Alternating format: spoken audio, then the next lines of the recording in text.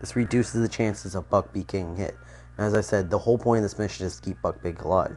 Because Buckbeak is the only one who can actually damage that guy. Which, right? I'm not sure if doing this again actually does anything. See, does it? Nope.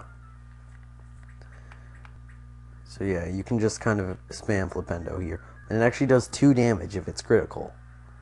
Which, you know, that's very nice. I love how Buckbeak disappears. Why the...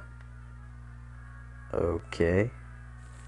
And we're going to want to fix that. Let's see what we got here. Toad to common poison, anti-paralyze. There you go. Not paralyzed anymore. Oh crap! I should. Oh, good. Famos is still on. Miss. See, and drastically increases the chances of him missing. And yeah, when you play it on fast, he actually disappears. It's kind of funny. Okay, good. Of course he missed. There was nothing there.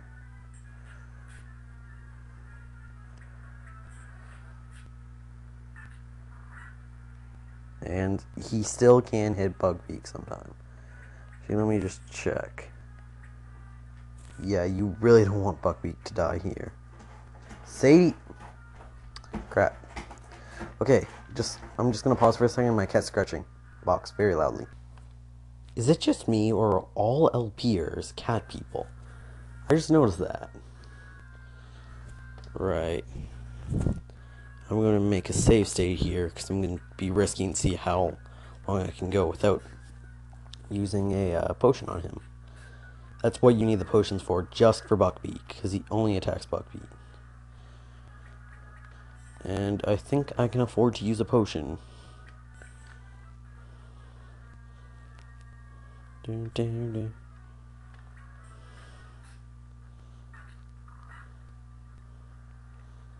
Alright, let me check his stats. Yeah, potion. And don't be afraid to use double potion in one turn. I am serious, because his attack does more than one potion. So double potion is the key to victory here. And Famos is also very useful.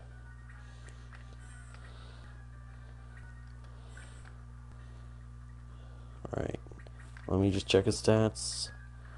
Okay, we should be pretty good for a while. He's almost dead anyway, so we should be fine. Actually, that wasn't the wisest choice. Let me check his stats. Uh, he can go one more hit. Well, we'll see. Okay, now double potion.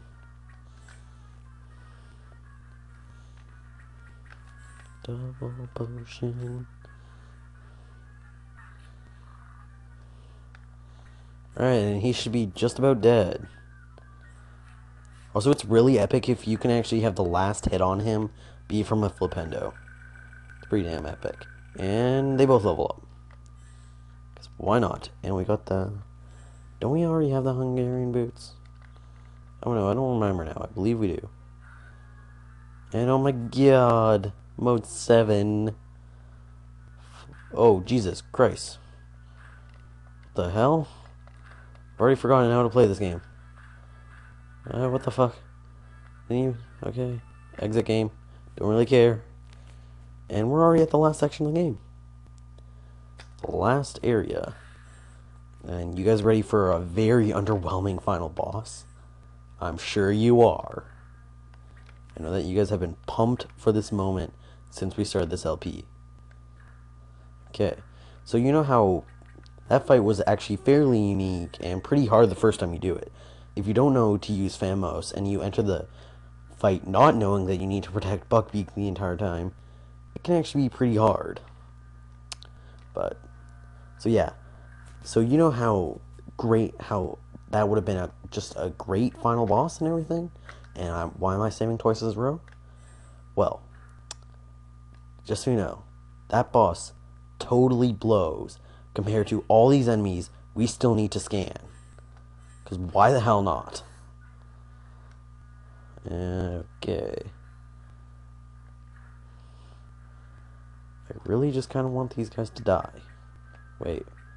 Is Wingardium Leviosa useful on these guys? Okay, even though it doesn't really make any sense, it is. Well, why not use it?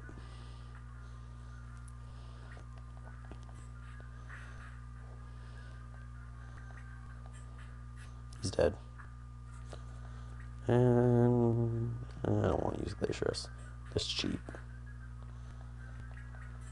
Critical. Oh crap, I was hoping it'd be critical. And yay. The potion. So yeah, let's scan all these guys, but let's get some treasure chests, why not?